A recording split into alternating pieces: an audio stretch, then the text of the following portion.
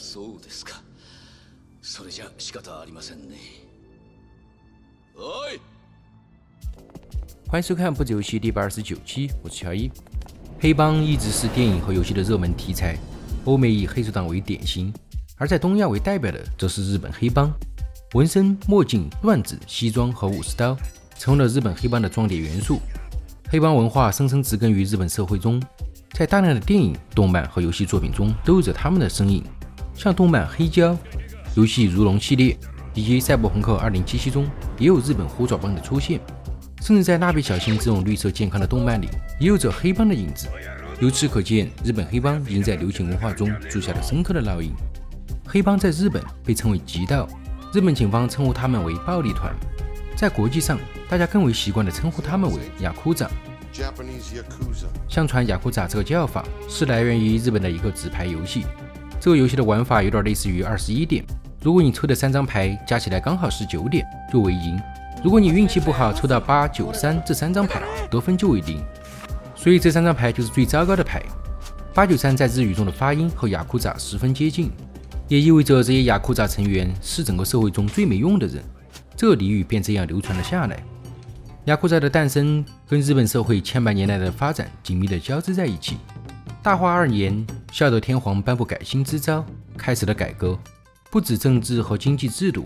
大化改新后。也严格的划分出了良贱的身份制度，在这其中，一些打了败仗的武士、俘虏和犯人被迫从事刽子手、屠宰、殡葬和皮革的工作。在日本宗教的洁净观念形成后，由于这些行业长期接触血液、死亡，当时的工作环境又不怎么卫生，身上会残留一些味道，所以被人们称之为秽多。而另一种则是从事不正经工作的人，比如卖艺、乞讨等职业，这些人被称之为非人。在江户时代，会多和非人都是最底层的贱民，他们不能和其他人通婚，世世代代生活在对外隔绝的村庄，完全孤立于主流社会。他们所聚集生活的贫民区，在几百年间逐渐形成部落，故称之为部落民。如果仅仅是歧视和排挤也就算了，部落民的人身安全也得不到丝毫的保障。在当时，如果部落民犯了过错，武士阶级的人可以直接杀了他们，而不受任何惩罚。为了改变这种悲惨的情况，这些部落民的后人开始寻求其他的生存方式，甚至不惜走上犯罪的道路。最早的雅库扎组织也是在这个时候兴起的。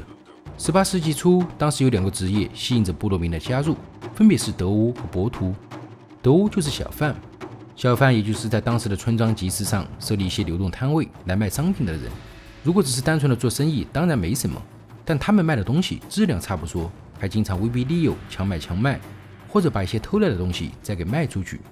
博徒也就是赌徒，虽然在当时赌博同样属于违法行为，不过在很多小村镇的废弃寺庙和神社里，都偷偷地冒出了一些小型赌场。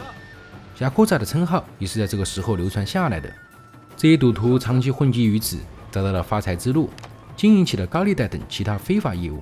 为了给自己的犯罪活动提供庇护，小贩和赌徒开始建立起了各自的组织。这些组织就在集市上分配摊位、收取保护费，或者在赌场里负责安保工作。随着组织势力的不断壮大，越来越多的部落民和寻求生计的老百姓加入到了这些团体当中。他们从原来的一亩三分地开始参与起了各式各样的有组织犯罪活动。更具讽刺意味的是，这些原本受尽排挤的人们，却是以犯罪的方式为自己赢回了尊重。十八世纪中叶，为了避免各个组织之间的争斗。也为了加强对于地方的管控，德川幕府开始承认此类的犯罪组织。一些大型组织的老大被赐予姓氏，还享有佩戴武士刀的权利。雅库扎就是从那个时候起成为了一个半合法的组织。在他们的发展过程中，逐渐形成了一套成熟的体系架构。和西西里的黑手党相似，他们也采取了家族式的管理。在入会时会有一个清酒仪式，互相喝了这碗酒，大家就是一家人了。虽然大家没有任何血缘关系。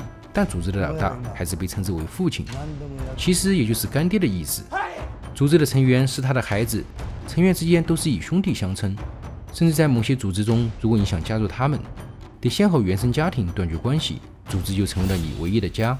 其实也是想通过这样的方式加强对每个成员的控制。十九世纪六十年代末，明治维新后，日本社会迎来了重大改革，废除了传统的士农工商身份制度后。无数人的命运发生了巨大的改变，有部分武士失去了生活的重心，开始走向了暴力和犯罪。第二次世界大战时期，日本几乎动员了全体民众投入到了战争之中，整个社会也受到了军方的高压统治。传统的雅库扎也在这个时候销声匿迹，但他们很快就在战后重新改编并发展壮大。这其中有一个很重要的原因，就是雅库扎有着极高的包容性。像意大利一的黑手党正式成员都必须要有意大利人的血统，其他人老老实实的当炮灰就完事儿了。但雅库扎不同，无论你是孤儿、流浪汉，还是日本人、朝鲜人，都可以加入进来。尤其是我们刚刚讲过的部落民，虽然在19世纪明治政府颁发了解放令，给予了他们平等的身份，但他们依然在此后遭受歧视和排挤。他们的后人还是无法在文明社会中找到一份正式和体面的工作。这一不同民族、不同出身、不同遭遇，但同为社会最底层的人们汇聚于此，在雅库扎中找到了归属感。并成为了这个犯罪帮派中的中坚力量。和所有的黑帮电影所描绘的一样，黑帮组织在发展的过程中都要面临传统和现代的冲击。靠一枪的刀枪棍棒当然打不过外来的洋枪洋炮。雅库扎也知道，单靠收保护费、放高利贷根本不能让组织长久的发展，所以慢慢的，他们的势力渗透到了日本的各行各业。大大小小的雅库扎基本控制了日本所有的毒品交易，他们通过走私。贩卖冰毒、海洛因、大麻赚取了高额的利润。既然都贩卖毒品了，那就干脆顺手贩卖人口吧。他们有些成员伪装成经纪人，去菲律宾、南美和东欧，专门寻找一些年轻貌美的女孩，告诉他们来我们日本当模特、当明星，money 大大的有。通过这种诱骗的方式，把这些涉世未深的女孩哄骗到日本，最后只能被迫在夜店、按摩店和卡拉 OK 从事收钱工作。雅库扎还涉足了房地产、银行、操纵股市、软件开发等高端行业，还在东南亚、美国等地经营国际的违法犯罪活动，并和日本政府搭上了联系。就连部分政客在参加选举需要财力支持时，也会寻求雅库扎的帮助。既然是讲日本黑帮，那就不得不提一下山口组。受各类文化输出影响，山口组如今在全球范围内都有着极高的知名度，它成为了日本黑帮的代名词。甚至给不少人带来了一种日本黑帮就是山口组的错觉。山口组成立于上世纪初，1915年，从事渔业出身的山口春吉在神户市兵库区和五十名码头工创立了山口组。他们靠着走私和垄断码头贸易顺利发家。随着成员的不断增加，让他们有能力踏入各个黑色领域，建筑、赌场、娱乐演出、影视行业等都成为了他们主要的经济来源。迄今为止，山口组都是日本最大的雅库扎组织。他们的总部位于神户市，势力范围几乎遍布全日本，而且在整个亚洲、西欧、北美等都有活动小组。根据2014年美国财富杂志统计，山口组是全世界规模最大、收入最多的黑帮组织之一。他们一年的收入达到了60亿美元，每年缴纳的税款占兵库县总税收的百分之七十。一百年来，三口组共经历了六代组长，在这期间，组织内部发生了多次冲突和分裂，人人都想一家独大。这反倒给了日本警方进一步打击他们的机会。在上世纪九十年代开始，山口组的注册成员一直在稳步减少。进入二十一世纪后，全国的雅库扎组织都踏入了凛冽寒冬。根据日本警方的数据，二零一三年山口组的成员为两万八千人，到了二零一四年进一步降到了两万三千四百人。说到了日本黑帮，我想很多人的第一反应就是他们身上的纹身。不少玩家在玩如龙的时候。也总会被里面大佬们各式各样、五颜六色的日式纹身所吸引。其实，日本黑帮纹身的传统就来源于我刚刚讲过的赌徒。我们都知道，中国古代在很早就在犯人脸上、身上刺青的刑法。日本从18世纪初有了纹身的刑法。这些赌徒因为干了不少坏事儿，身上都留有纹身。后来以他们为主力的团体就把纹身看作力量的象征，身上没几个图案都不好意思在道上混。他们的纹身图案多种多样。有龙、凤凰、鲤鱼，各神话人物或者家族组织的文章。这些纹身从头到脚，包括你懂得的部位，纹遍全身。而且不像我们现在使用的是电动纹身机，他们都是纯手工制作，拿竹子或者钢针一点点把颜料刺上去。所以这么一个庞大的工程需要耗费数年才能完成。在日本，这种大面积的纹身已经跟黑帮画上了等号，在一些公共浴池都会禁止全身纹身的人入内。普通人也尽量避免纹身，以免和黑帮扯上关系。甚至连日本警方都会去找那些纹身师来调查黑帮的线索。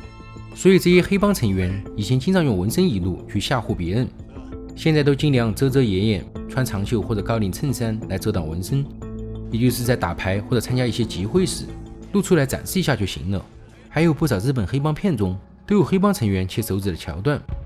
其实最早的段子是雅库扎内部的惩罚方式，因为在以前刀剑当道的年代，手指的作用异常重要，手部的任何割伤或者缺失，就连刀都拿不稳。经常做菜的人都应该知道，一不小心切到手，缠上一圈纱布，再拿菜刀就会觉得很费劲。所以每当有雅库扎成员犯了过错，砍掉他的左手小指，这个人就很难再有什么战斗力了，以后更得依赖组织的保护，忠心耿耿地为组织效力。后来这个残酷的惩罚反倒成为了表忠心的方式，都快成为了入会仪式上的一道硬菜了。有的人切一根还觉得不够过瘾，连右边的一起切了。至于切下来的这些段子，大多都被组织给妥善保管，每个组织都有专门的一个宝贝房，里面摆满了这些装着段子的玻璃罐。根据日本警方的统计，将近五成的黑帮成员都切掉过手指，每天都有很多黑帮分子排着队去医院急诊。不过段子这个特点也太醒目了，哪怕是全身纹身，只要你穿好衣服，也没人知道你是黑帮，段子就很容易被人一眼认出。在日本大力镇压这些犯罪活动时，段子这个特征就帮助警方一抓一个准。所以到现在，这种自残行为已经越来越少见了。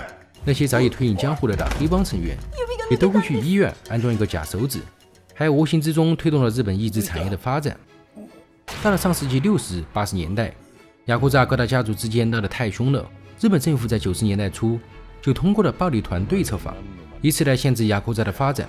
进入新千年后，更是加大了力度，颁布了暴力团排除条例等法律，导致雅库扎成员的数量在逐步下降。但我们都知道，日本直到今天都没有彻底取缔黑帮，甚至都没有严格禁止加入黑帮的法律。据统计，截止到2016年，日本仍有3万九千名活跃的雅库扎成员。尤其是日本黑帮的三大家族——山口组、筑吉会和道川会，他们拿着日本合法的准证，势力依然遍布全国。日本著名导演、演员北野武，在他四十余年的从业生涯里，参与了多部黑帮片的制作。根据他自己的回忆，在他出生的东京就不少雅库扎组织。由于时代变了，这个社会不再容忍他们靠暴力来维持得了生活的样子，这些黑帮成员开始改头换面，收起了凶狠的模样和酷炫的纹身，一脸慈眉善目的给小孩发糖果，还教导他们要对家人有礼貌，俨然一副正能量大叔的模样。直到今天，日本黑帮都还在努力洗白，维护自己的形象。他们自称任侠团体，出门在外都得用敬语，甚至还发行了自己的报刊，有着自己的官网。